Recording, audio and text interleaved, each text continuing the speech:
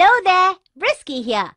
Let us listen to the story of Jennifer, where she learns to talk politely and clearly, which is part of effective communication. Here is Jennifer. She is usually a fun-loving, happy-go-lucky girl. But she looks a little upset today. I am wondering why. Let us go a little back in time to see what happened earlier. Mom, I want to go to the children's fair this Sunday. All my friends are going too. That may not be possible, dear. We have to go see your grandparents.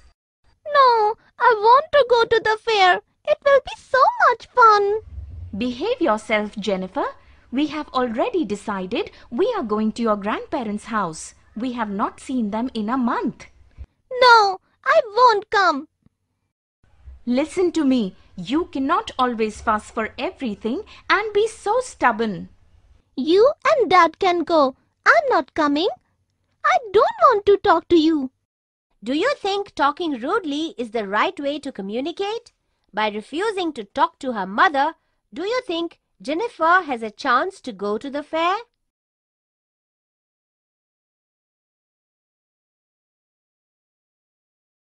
Jennifer needs to talk to her mother and try to work out a plan so that she can see her grandparents and visit the fair. Let us see what she does. Suddenly, a puff of smoke appears, revealing an elephant fairy. Jennifer looks stunned. Oh, who are you? I am Mumbo Jumbo, the star performer at the children's fair. I heard you and your mother talking about the fair. I am here to grant you a wish, but it will not be so simple. Do you still want the wish? A wish? Wow, how exciting! Can I ask for anything I want? Of course you can. Then I want my mother to say yes to whatever I ask. Hmm, are you sure? Okay, here's the condition though. Whenever your mother asks you something, you have to answer in the opposite. So, if you want to say yes, you should say no. And if you want to say no, say yes. Sounds like fun? Okay, sure. Grant me my wish. Swishy wishy boom boom. There you go.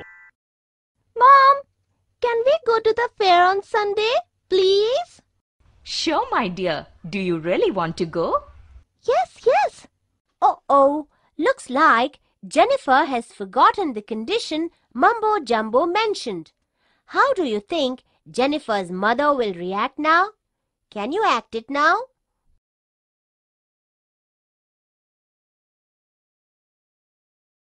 You still want to go to the fair? I told you we will talk about this later. Jennifer, remember the wish. You have to answer in the opposite. You were supposed to say no. I don't want to go to the fair. Oh no, I forgot. Now I can't go to the fair. My mother is very angry with me. Don't forget this the next time. Mary, there is a children's fair on Saturday. Why don't we take Jennifer there? She will love it. But we have to see your parents. We haven't gone there in a month. Oh, yes, I forgot about that. Let me ask Jennifer anyway and see what she wants to do. Do you want to see your grandparents? They are waiting to see you. No, no, no. I want to go to the fair instead. Oh, oh, she's forgotten the condition again. How do you think Jennifer's father will react now? Can you act it out?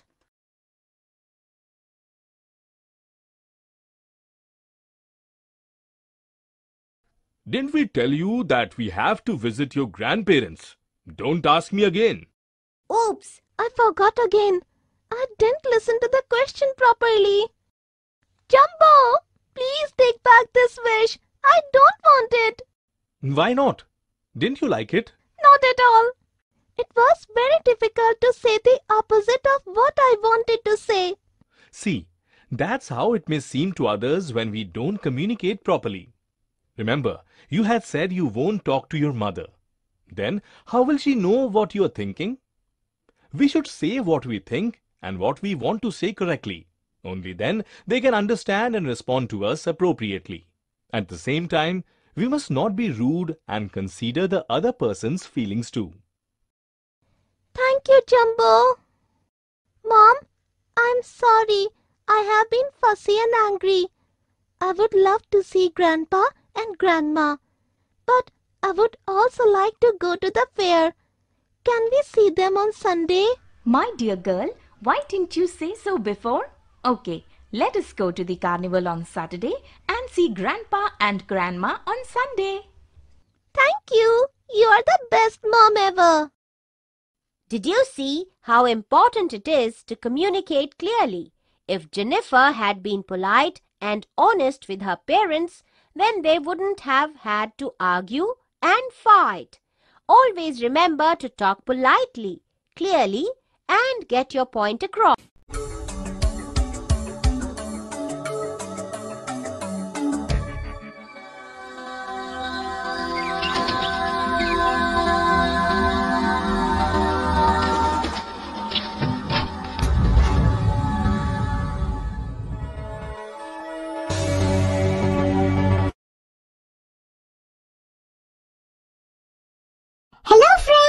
Bouncy is back. Now we will learn the importance of punctuation.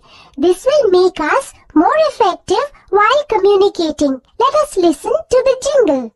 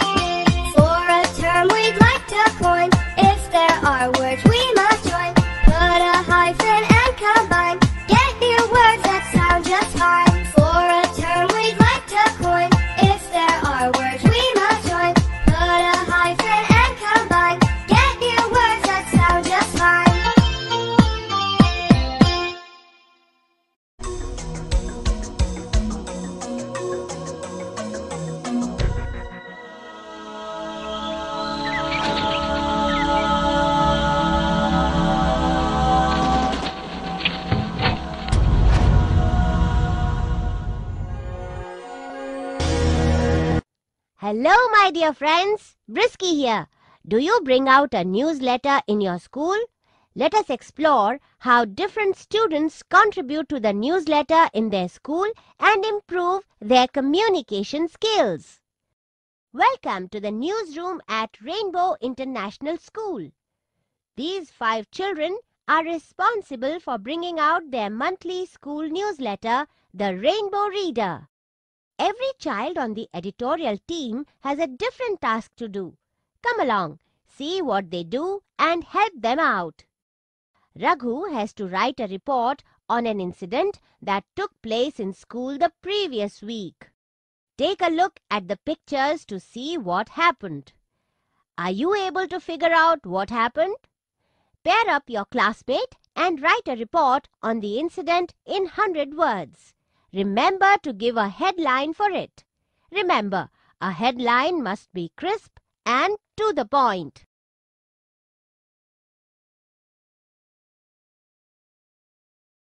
This is what Raghu wrote in his article. Compare it with your own and see if you covered all the facts.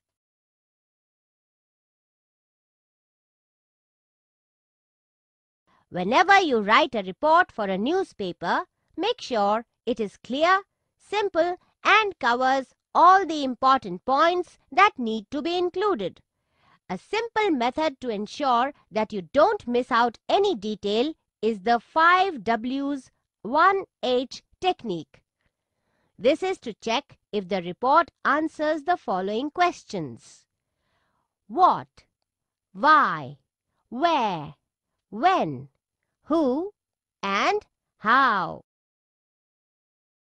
Did you enjoy writing a newsletter report? Now it's time to help Sheila write an advertisement. The school canteen has recently added a new item to their menu, a health drink. Take a look at the ingredients needed to make the drink and write an advertisement for the newsletter announcing the launch of the drink. The advertisement should contain the name of the new drink, a brief description to it, and the benefits of drinking it.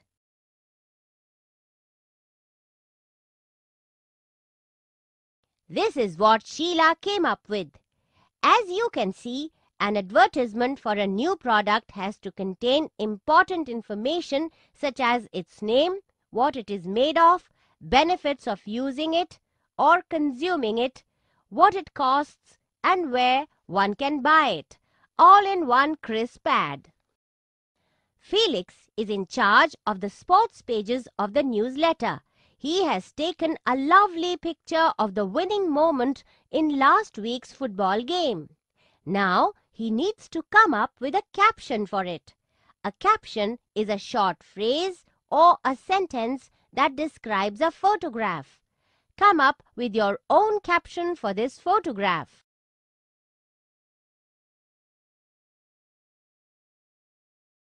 This is the caption that Felix came up with.